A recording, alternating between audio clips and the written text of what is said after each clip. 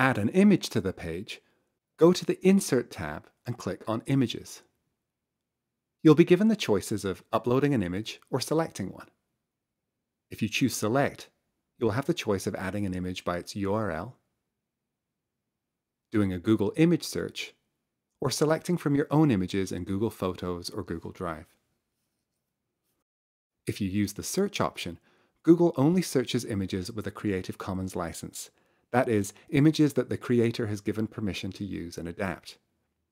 However, if you choose to add images directly from a URL, or upload an image that is not your own, you need to ensure that there are no restrictions on using that image, and you must credit the source somewhere on the page.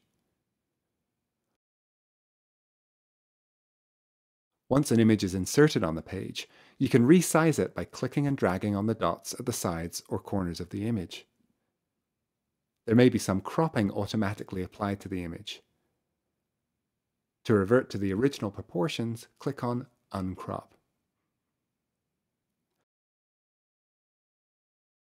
To add a series of images that page viewers can scroll through, go to the Insert tab and select Image Carousel. You'll be prompted to upload or select images to add to the carousel. Once you've chosen your images, click on Insert.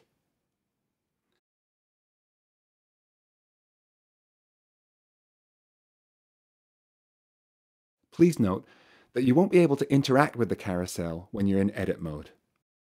To see what your page visitors will experience, click on the Preview button in the top menu.